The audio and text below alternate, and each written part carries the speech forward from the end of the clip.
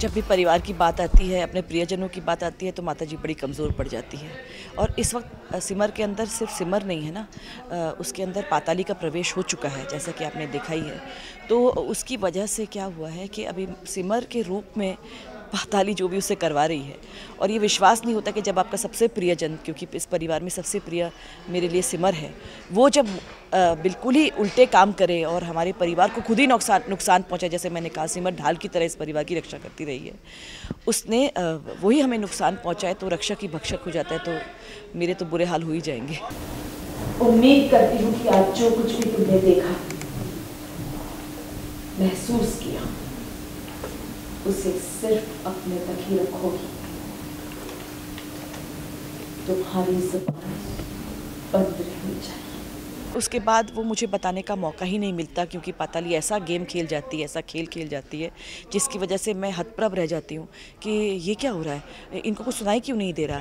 और धीरे धीरे वो सारे मूर्छित हो जाते हैं, बेहोश हो जाते हैं और मुझे ऐसा लगता है कि मेरा परिवार का खात्मा हो गया, वो अंत हो गया ने हमारे परिवार के साथ क्या कर दिया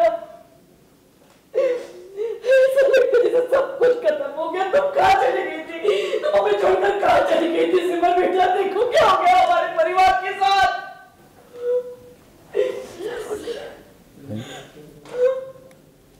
ये सब कैसे हो गया माता जी अब तो हमारे जीने का कोई कारण ही नहीं रहा ना बुराई के अंदर भी थोड़ा बहुत अच्छाई तो होता ही है क्योंकि ऐसा कभी कोई पूरा काला नहीं हो सकता ऐसा उसका मानना है। तो कहीं ना कहीं माता जी जो है उस छोटी सी अच्छाई को आ, क्या पाताली के अंदर भी अगर थोड़ी सी अच्छाई या सिमर के अंदर थोड़ी सी भी अगर अच्छाई बची होगी तो उसी को वो प्रार्थना से ठीक करने की कोशिश करेगी क्योंकि जैसे कहते हैं बूंद बूंद से सागर बनता है तो एक अच्छाई की एक बूंद भी काफ़ी है इस वक्त मेरे परिवार को वापस लाने की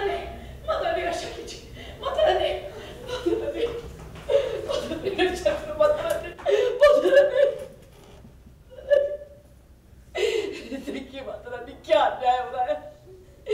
जिससे मन ने आजीवन पूरी निष्ठा से आपकी भक्ति की। पता नहीं उससे क्या क्या करवा रही है माता रानी।